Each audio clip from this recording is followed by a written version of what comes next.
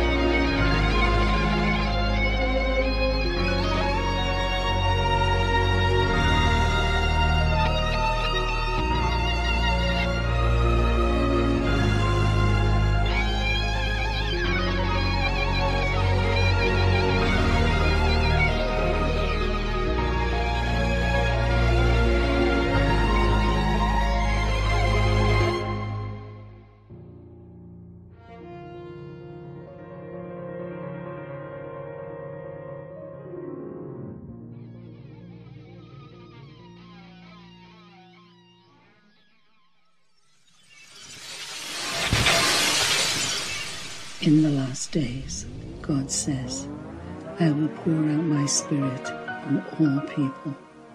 Your sons and daughters will prophesy. Your young men will see visions.